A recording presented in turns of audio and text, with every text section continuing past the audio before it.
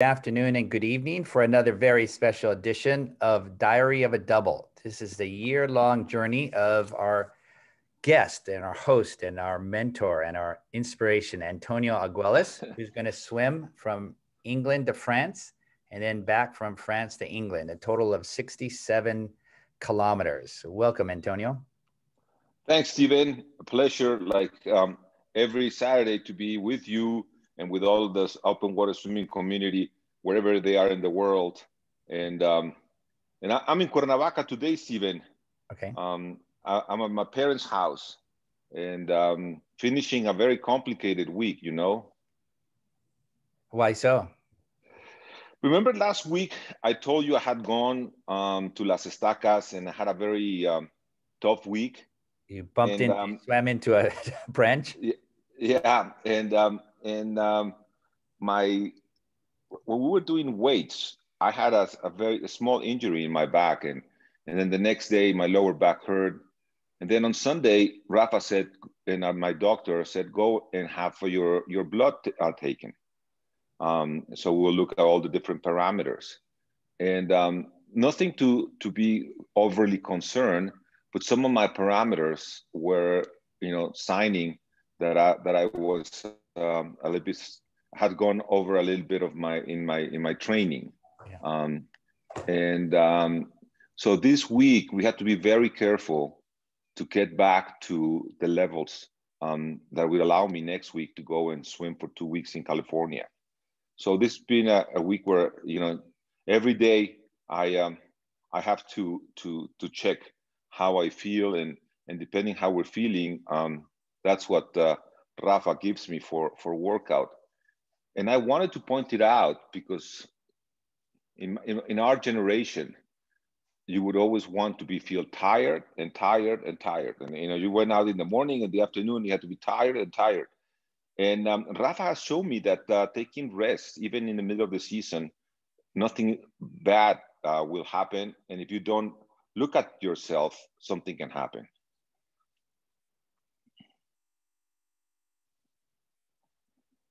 Next week you will be in California, correct? Yes, I'm going to La Jolla from uh, Monday till Thursday, and then I'm going to San Francisco. Okay. Um, I'll be I'll be for uh, another five or six days in San Francisco, so um, I'll we'll see how the how the weather, uh, how the water temperature. I know in, in La Jolla has gone up a little bit. Yeah. Uh, it's not 14 degrees anymore, and um, San Francisco uh, Suzanne wrote me the other day that it has gone up a little bit as well. Oh, so we'll hopefully I'll have a nice um, nice weather. Yeah, what I what I think is really interesting for today's discussion was the fact that you started out as a competitive swimmer. You trained, you know, many miles, um, uh, many kilometers. Um, you always looked at the pace clock. Um, you did sets. Uh, you still do sets. Um, you do things like negative splitting and descending intervals and descending effort and you know all these different things. And now you are a channel swimmer. Your goal is to walk in swim across and walk out. So from your many years of, of training up at stanford and, and california and mexico city in the pool as a competitive swimmer and then all your years of swimming from one shore to the other, what are some really, really common differences between those two? Well, I would say that the first one is I'm never nervous when I'm going to cross, uh, swim across an ocean. Um, it's uh, that's something that uh, it disappears. And when you're on a starting block, even if you are very confident, even if you had a great season, um, the jitters are totally different. I mean, the feeling of how you feel in a pool is totally different than when you go in the ocean. Yeah. I mean, that would be the number one um, big difference. The second one, and this is really interesting, Steven, is the, the tapering. When you're an, when you're a, a pool swimmer, the taper is it's like it's like like the harvest of the season. I mean, you could you could you, you could have trained very very well the whole year, and if those two last two weeks don't go well, your times are not going to be well. yeah. and uh, that's that that puts a lot of pressure on i guess on the coaches but on the swimmers as well because yeah. i don't know if in in today's um, atmosphere in the swimming um, in, in the competitive swimming world they have designed a, a consistent and scientific way to uh, taper but in my in my years it was just like how do you feel? And and you know it was like you know let, us see how it goes. And, and you had to be learning things all, all, all along the time.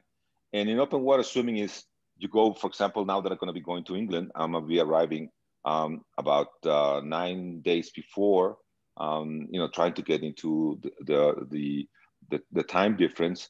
But uh, you know my, my training is going to be mostly like i do some other days. I mean it's not a big taper no no not and, it's not so stressful. Yeah. Um, then the, the third thing is when you you know i guess in my in uh, when you do sets in the water um, as a competitive swimmer you always have a reference. I mean if you want to go under you know uh, let's say let's do uh, 100 100s on a 120 or a 115 and then you know you can hold 110 or 18 for for that many many so much time. And that you have an idea of how much you need for the 1500 or for the 400 so everything you do in the pool has a reference on what's going to happen on race days. Um, in, when, when i'm training for open water that's not the case. When i'm training for open water is what are the tools that i'll be using while i swim that i have to do the pool and then take to the ocean let me give you three, three examples. Number one is uh, this idea that I have to find an R3. My R3 is going to be my cruising time when I'm in the in the ocean.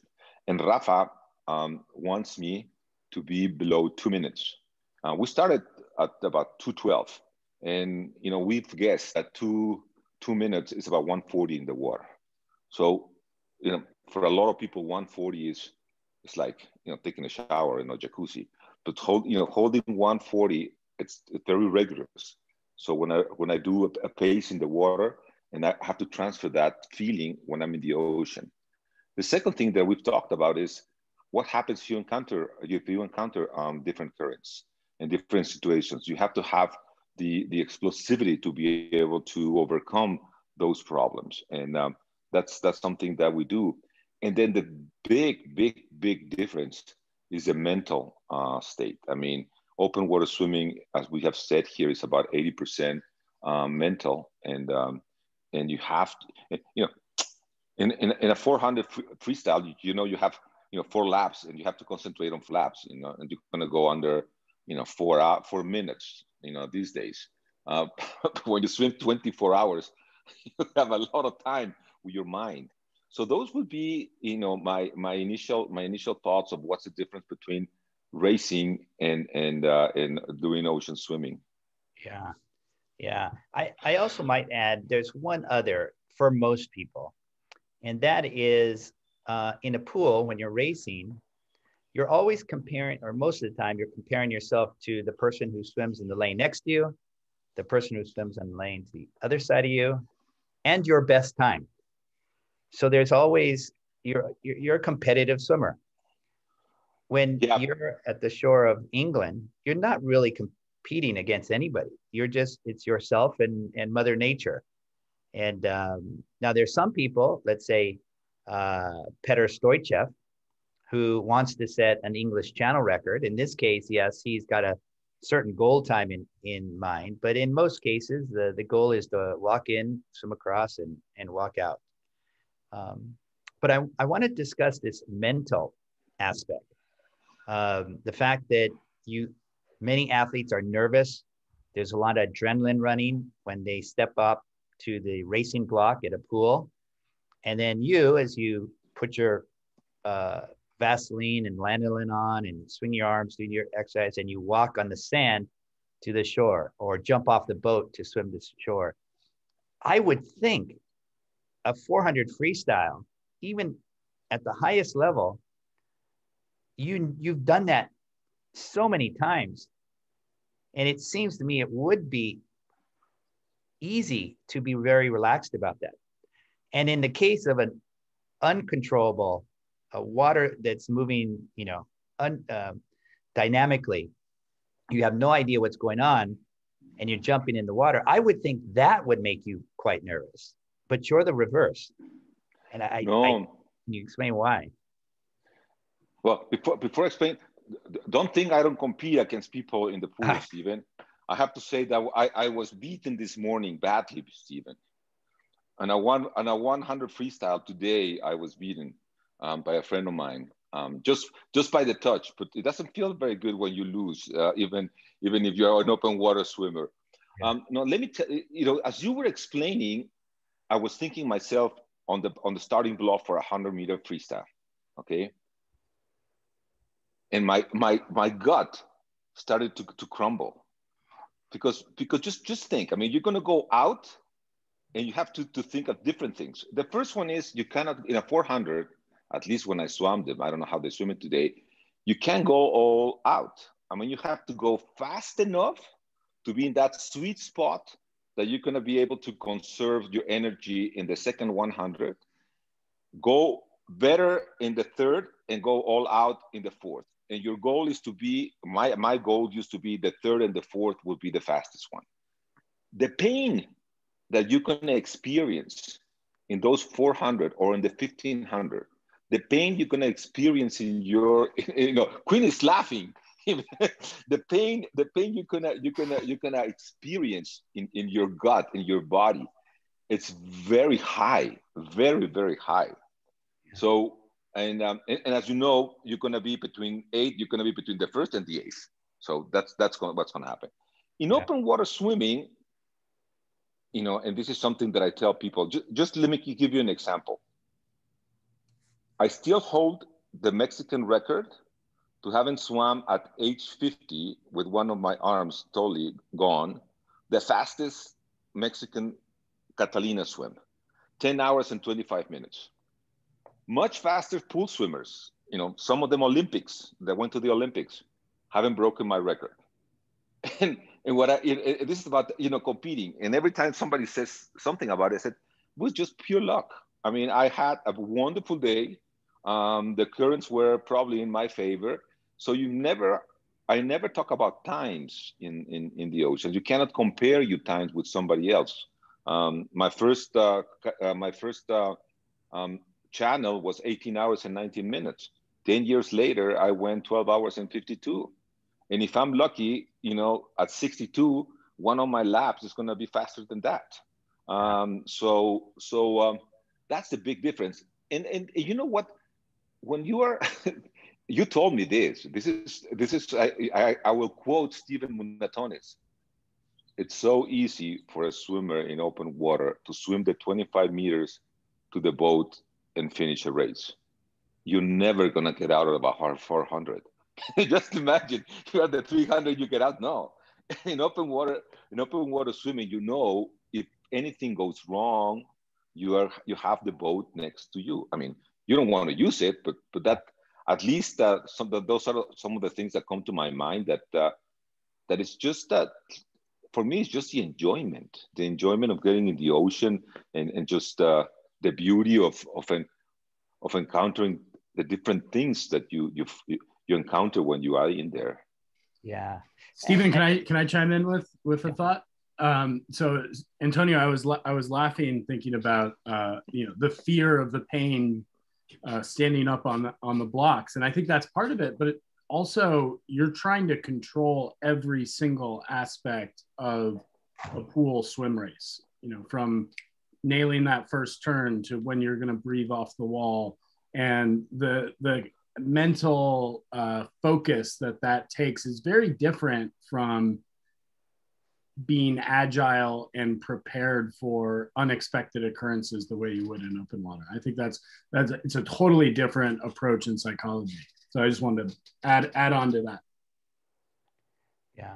The other thing too, um, because you're you're focused in the pool on let's say eight laps or two laps or one lap whatever, whatever it is but when you're for example in antonio's case the planning for a channel swim involves the pilot the crew an international flight uh, uh, getting a vaccine, all these things. So the actual swim is is seems to me is a, a smaller portion than the total amount of mental effort that that any channel swimmer has to put in. Whereas in the pool, it's almost exclusively in the pool. I mean, yes, you're ta- you're thinking about the taper, which will be our next topic, or your nutrition, or how your shoulders feel. But uh, I, think a channel swimmer has a much broader uh, scope of things they have to consider and plan for and execute versus an, a swimmer. You know, uh, Quinn, you were talking about hitting the flip turn. Yes, that is absolutely critical. But also critical is what people will be in Antonio's boat to give him the best shot at completing this 67 kilometer double crossing. Uh, Antonio, do you have any comment on that? What you're saying is, uh, you were driving yesterday with your daughters, yeah. um, and I, I would, I would, I was thinking about the times we would drove to the pool. You know, when I was at the ANSA or when I was at Stanford or here in Mexico, and, and that's a lot of uncertainty. And and you know, the, the problem with with pool swimming, if you you think about it, is you only have one chance. Yeah. Your whole year is one chance, and if you miss that, you're gone. And uh, in in channel swimming is you have this freedom that you can come back anytime you want. Number one, and number two, I guess I guess in my case, my my boat team is you know we've been together for many many years, so I have no no no issues about that. I mean, I know Rafa is going to be the, the you know he's the the, the the, my coach and the general manager of the team, and Ricardo will be there, and and uh, and uh, Ariadna and Maria Paula, and everybody knows what they have to do. So I, I'm never concerned about that. You know, the only thing that has concerned me these days is that the whole team needs to be vaccinated, and uh, and and we're working on that. I mean, that if you ask me, which is the, the, only thing that makes me nervous and I don't think about it is what's going to happen with the opening of the borders in England. Um, but that that that would be my my my, my concern. I, I really I, I, again I guess I guess my my when I was younger and I was swimming competitively, um, it meant so much. This is good. What I'm thinking. My life circled around swimming my life was swimming. So if I didn't do well, it was something in terms of my life. It was a big chunk of my life. Yeah. You know, I I I I even thought about going to other universities just because I thought I would swim better. And now swimming is my enjoyment. It's something that's part of a broader um, Antonio, and it's just a small part in my life. It's a big part, but it's also a small part. So probably that's that's the reason why I think it differently. Yeah. I, I want to go uh, now shift to a taper. And this is really this is a really important topic uh, for the Tokyo Olympics. In to- Tokyo Olympics, especially on the men's side, the some of the best open water swimmers, some of the guys who will have a, the highest probability of getting an Olympic medal in the marathon swim also have a very, very good shot at winning a gold medal in the 1500 meter freestyle and the 800 meter freestyle. So I don't know how these athletes actually do it. They will swim the heats of the 800 meter free, then the finals of the 800 meter free, then the heats of the 1500 meter free, then the finals of the 1500 meter free.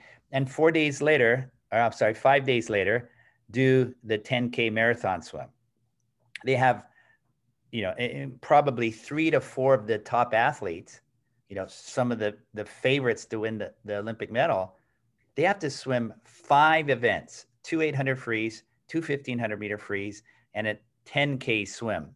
Um, I, ha- I am quite fascinated in how they're going to taper for, for this.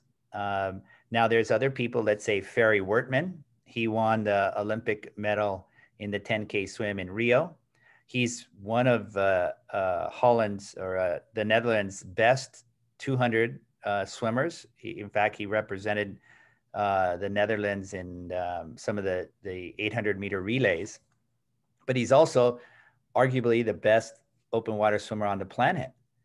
And, and I don't know how these guys work in a taper both to compete against the best in the pool and the best in the open water at the same time. Now, other than those four or five exceptional athletes, pool swimmers and open water swimmers can and don't mix open water swimming and, and pool swimming. Although on the American side, I'm quite sure that our top three, I'm sorry, all of our top uh, female swimmers will be swimming events at the Olympic trials. So Haley Anderson, um, Ashley Twichell, Erica Sullivan, and a pretty special girl, um, Catherine Grimes, who's competing right now this week in uh, Florida. Yesterday, she was very competitive. I think she got fourth in the 10K swim yesterday. Today, she won the junior 5K swim. Tomorrow, she's going to swim the 7.5. So she's swimming against national competitors, the 10K, 5K, and 7.5, three days in a row. Um, I don't know how those people train. I, I, taper. It, it, to me, it's mind-boggling. And perhaps uh, Quinn, one day we can we can ask them to share their secrets because they are secrets. Um, none of the, these coaches will share what they do. Uh, but Antonio, in your case, you you mentioned you don't really taper, but you do. You're hitting your peak now. About how many weeks before your swim? will be your longest swim that you do or your toughest swim that you do for the double crossing? No, we're going in uh, May 13 and 14. We're doing 24 hours. Okay. That's going to be the, the peak. Okay. And then up six weeks, seven weeks before your planned swim. Yeah. And okay. then after that, uh, um, as Rafa says, we have a period of uh, just small adjustments, and you know we do some some speed and we continue with weights. And then no, we do taper, but it's not it's not the, the, the pool tapering. I mean, the pool tapering is, you know, you just go from this much to this much. I mean, it's just to me it was a big difference. Let me just go back to what you said about the, the swimmers, you know, 800, 1500, and then the, the, the 10K. Um, you know, that three different ball games. I mean, it's just not only how they taper, but how they approach each one of those races. And what it comes to my mind is that the 10K, even though it's it's much longer, is still a race that you go all out. I mean, you have to be able to go. It's like the marathon at the highest speed possible during the whole during the whole swim. So that would be really interesting. But let me ask you one thing: Ledecky is not going in, into open water swimming.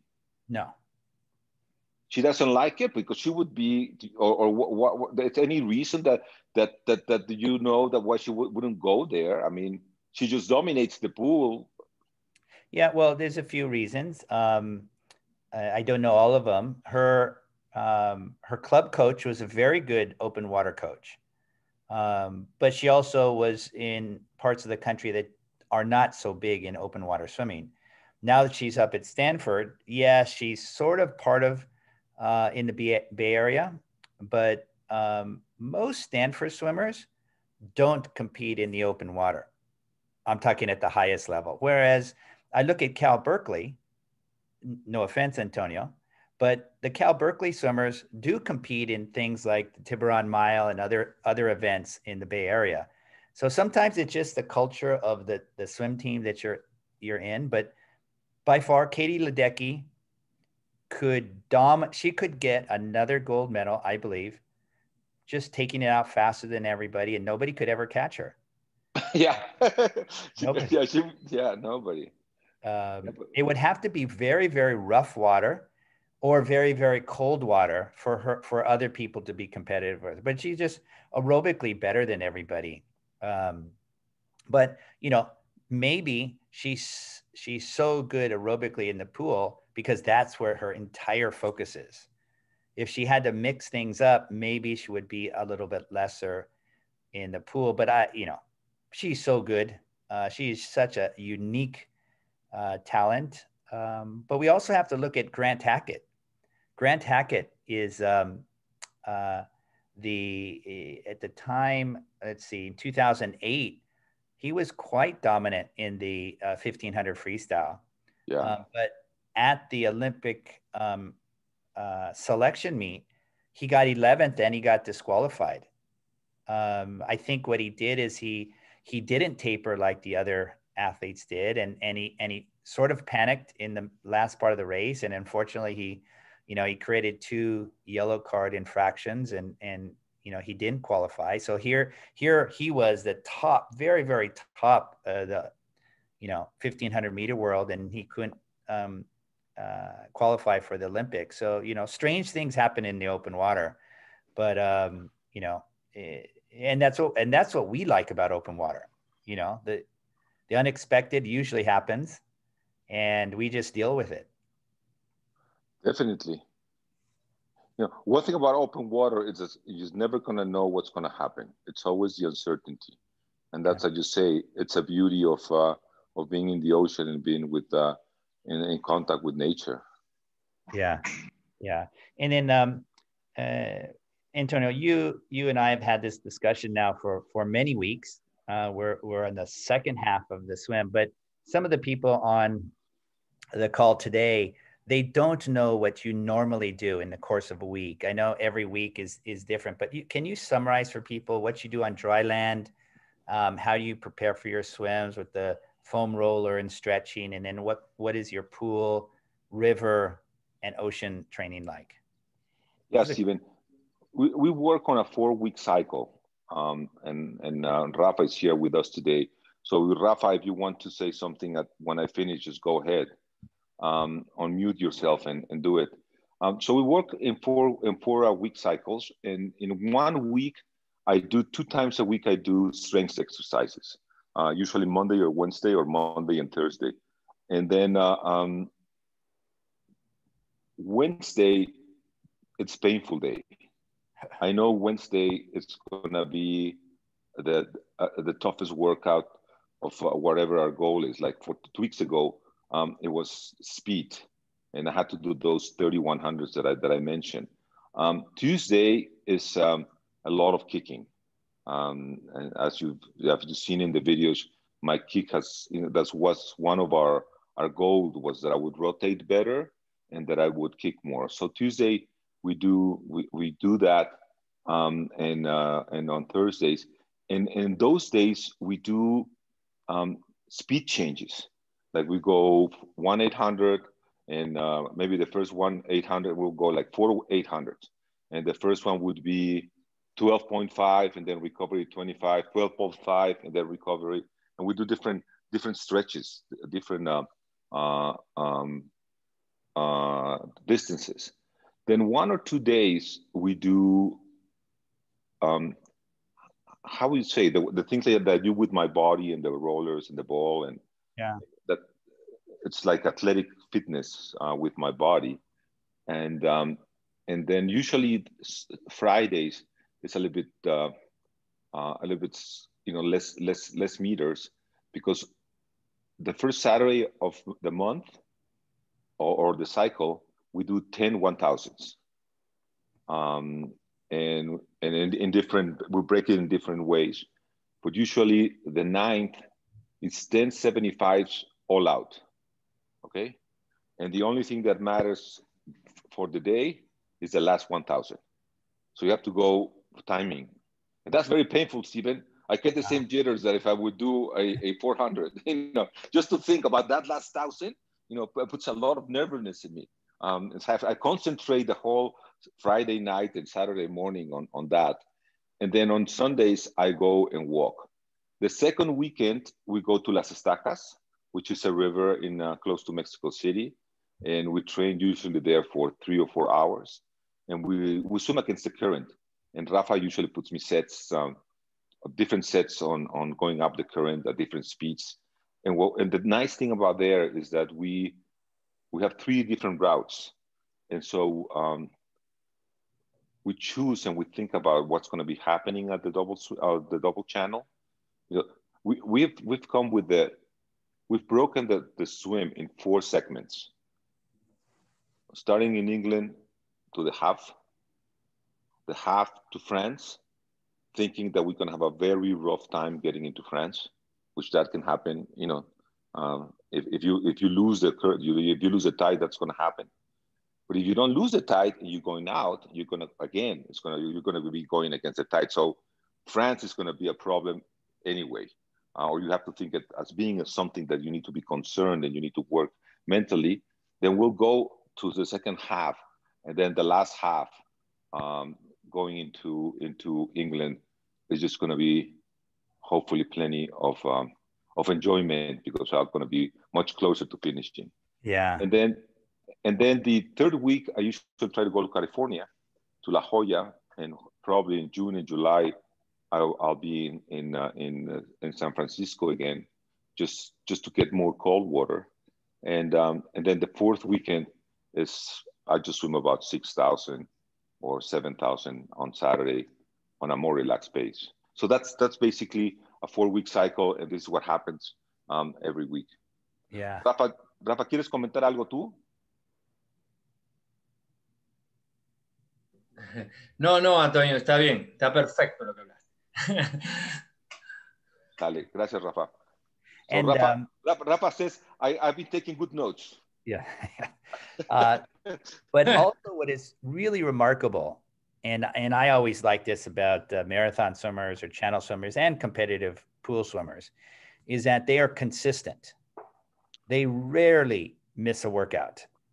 If if a workout is missed, it's usually because of an injury or some uh, bad illness.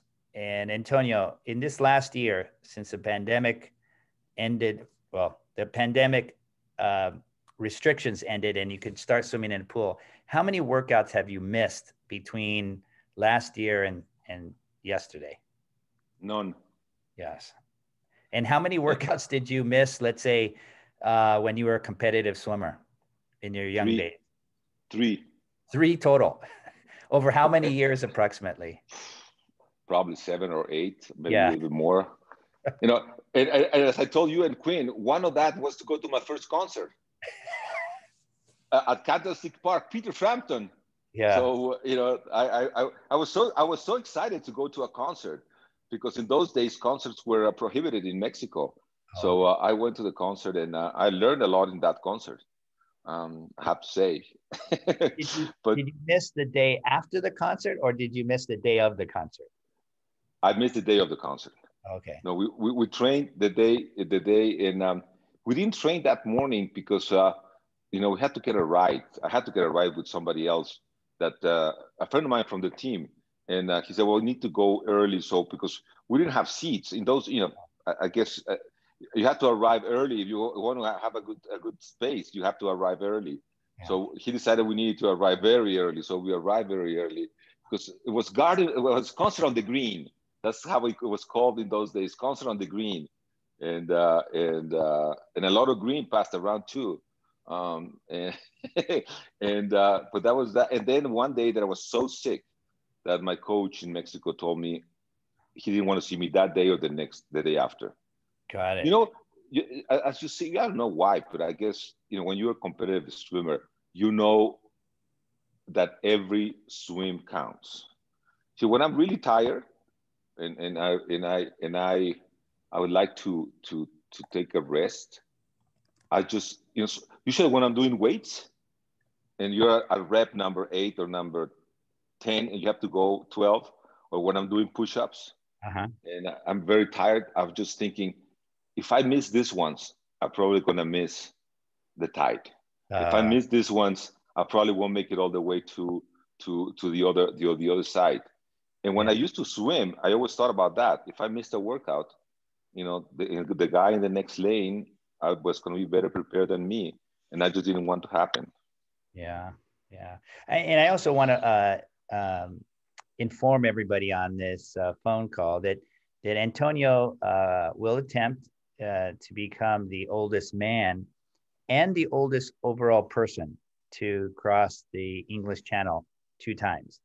Uh, the current um world record holder is um a British woman from the Isle of Jersey, Sally Minty Gravett.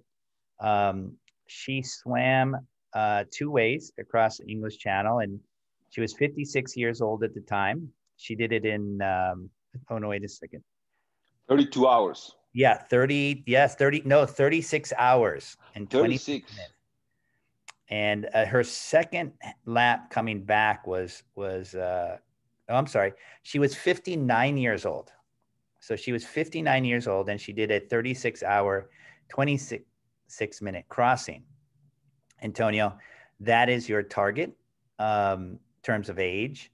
Uh, and then last week, I wanted to, to mention um, uh, we had mentioned that you were the oldest person um, to do the Ocean Seven.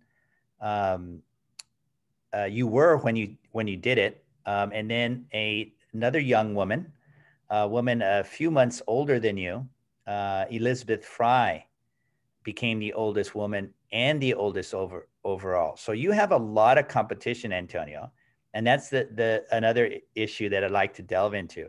In open water swimming, we have a lot of like male and in the pool. Obviously, male and female are separated. Throw us in the channel, and uh, women are very very competitive with men. And in cases like uh, Sarah Thomas and and uh, Elizabeth Fry, they outdo the men in various ways. Do you ever feel competition against women, or you're just looking at? Um, you know, I I um, I have something that I learned about my guess life very early in my life. When I realized that I was not going to be able to go to the Olympic Games, and the day I quit swimming, I promised myself I was never going to race again um, in swimming. You know, competitively. You know, try to compete, and that's as you know, I compete in the pool and I like, but I never you mentioned two two two swimmers that are very you know Elizabeth and Sally. I I consider them not only outstanding um, swimmers, but they're very good friends of mine, and you know they're great uh, great uh, great great uh, uh friends. Um, no, I, I I guess I'm glad Jimena is not around because I would be scolded because what I'm gonna say. In my case, and I guess in, in terms of the men in open water swimming, we're more relaxed about competition. Um, women, on the other hand, they get more intense about competition. Uh, and uh, and no, but I never compete. I, I always look up to them, and and uh, and as a matter of fact, Sally gave me a lot of insights okay. on what what what how to do the the the double. She was gonna be with me in um, in my my tent of uh, Catalina, and then um, she couldn't make it, um, or something happened. I can't remember. But she she was very uh, she's been very open anytime I ask her for for advices, and and I think that's something that we many of us share. I mean, yeah. if anybody calls me and asks me for advice, I I I usually answer. And when and the same thing when I go and ask for advice, people are very comfortable in giving it to me. Yeah, yeah. Well, uh, Quinn, I'd like to open it up. I mean, there's a lot of questions, a lot of interest on various things that we discussed from taper, mental differences, uh, gender competitiveness. Um, any questions for Antonio? Just unmute yourself and fire away. English or Spanish.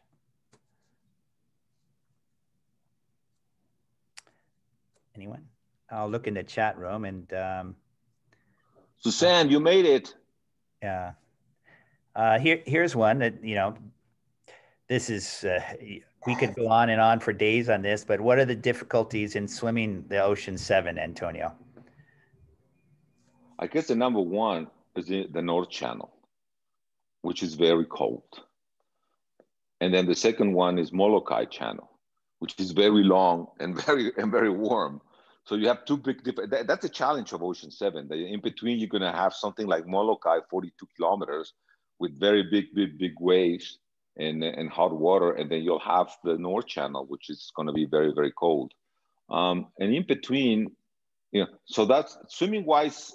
I would say those are the big differences in between. You have um, differences in, in the ocean, but but I think the most difficult thing these days is getting a boat. For example, Gibraltar, again, this year is going to be closed for crossing. You know, trying to get uh, um, our friend in New Zealand, uh, um, what's his name? Uh, well, you know, the, the, the, the, person who does New Zealand to get him to answer you an email can take three months. So it's a, uh, you know, it's a complication of nature and, and, and, and demand. I guess the demand for, for slots on any of the Ocean 7 has increased a lot. And then getting people to, to, to answer. And after that, training every day for at least two or three years to be able to complete all the swims. Yeah. Antonio, you trained down at um, Acapulco Bay in Mexico. Do you ever do any of the competitive open water swims there? I know they have some some very very popular races. Yeah, I did in my younger age. I I, I won them two times, but no, I there's too many people. I I've you know one thing that I've become with age, I've become a a um, you know I don't like to be in crowds anymore. So I guess that's that's part of being getting being an old man like I am now. 62, Steven. 62, I know. so, so in other words, uh, you have uh, 11 more years before you can even think about breaking the oldest record for the English Channel crossing, which is held by uh, Dr. Otto Thaning. Of uh, yes, and you know what happened to me? I was so happy, and I don't know how that happened, uh, but I was asked to give a um, to give a, a, make a video for his birthday. Okay. Um, his daughter asked me, you know, I, I, I wrote him once when he when he did that. I wrote him and I asked him, how have you how you know I was intrigued. I said, how did you have you kept it uh, in shape?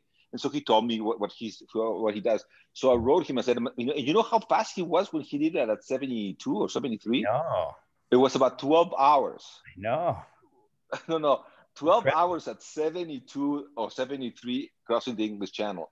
So I, I said in the I said in the in the in the in the video that I congratulate him that I put that I wanted to try. So I'll, I'll keep on swimming. I, I I told you my one of my grandchildren is going to swim with me when I turn 80 Catalina, and we're going to go in tandem. Yeah, yeah. The other thing that I wanted to um, ask, and maybe this is something that Rafa could actually uh, address in addition to you, Antonio, is technique. Now, technique is extremely important. The proper stroke mechanics are extremely important in the pool, but they also are becoming extremely important in the open water. When I, you know, when I see the best open water swimmers now, they have perfect body position. They they they they roll very well, um, and it's it's it's very nice to see most open water swimmers now understand the importance of not just grinding it out, but improving your stroke technique so every every arm pull is as efficient as possible. Rafa, ¿quieres contestar a técnica? Eh, hablas de la técnica en el mar, ¿no? Sí, la técnica del mar. Me, me, vas traduciendo porque la última jornada no sirvió para mucho. Este, eh, que lo, primero, lo principal de la técnica tuya este año fue mejorar el rolido y la patada. Ese era el objetivo fundamental. ¿no? When we started, when we started the season, um, we, we worked, we had two goals in terms of our my technique. Number one is kicking, and number two was usually what you said, to bring my body up and be able to roll. So we, we did a lot of work from day one when this, the season started. So that's what Rafa just said. Después. La, la segunda es eh, visualizar en, en, mar, este, cuando el mar, la entrada, la, la, las olas, cómo atacar la ola, sobre todo el mar picado, para la abrazada profunda. ¿Te acuerdas? El jalón y el agarre profundo. ¿Lo recuerdas? Sí. You know, you know, Steven, when you when you're facing when, when you're facing an ocean or water that's very unstable with a lot of waves, small waves or big waves, but especially this, the, the small waves, when you put your arm in, it's totally different than when you're in the pool. Yeah. You need to find a, you need to find a new position to be able to do your your your, your stroke to, to just to be able to handle it and um, and and in my case, when I stop swimming in the ocean and I go back the first day, it's really difficult. But we have that's why we keep on going back to to to to the ocean once a month because that's something that uh, we know we need to work. That's the second thing we work in technique. I mean, how do we do my pulling when the when the ocean is rough? ¿Y qué más, Rafa? No, que junto con el jalón aplicar mucho más rolido, la brazada profunda y aplicar mucho más rolido del lado contrario donde viene el oleaje, por el tema de la respiración. Yeah, uh -huh. and the other thing is to, to roll my body more on the opposite side that where, where from where the waves are coming from. So I do more rolling in my in my in my swim. Yeah, good, good. I, actually, Quinn, I think this is. And, a- but, but you know what? You know what, Steven? Let me interrupt you. But you know one thing I'm still cannot do, and I was told by a friend the other day that that is one of the things that doesn't qualify me to be named a great swimmer, great open water swimmer. That I still swallow salt water, Steven. Uh, I uh, still swallow salt water. I mean, it's a, you know, I haven't been able to, to do that. So you know, uh, my, my goal between now and when I cross back and forth, or I try crossing back and forth, is not swallow salt water. Okay. So, so I have two techniques or two drills that people can do to uh, help uh, understand uh, the placement of your mouth in rough water. The first is do as body surfing as possible. Now, that may not be possible for anyone who doesn't uh, live by a, a beach with waves. But usually, body surfers, you quickly learn when you're body surfing over and over again when not to open your mouth uh, where you're catching a wave. And the second is um, if you are fortunate enough to live by the ocean, you swim directly in the surf zone. So if the if the uh, shore is on my left shoulder, and the waves are coming in my right shoulder, you swim right through for at least a kilometer in through the waves. And you you will be taught by mother nature when not to open your mouth.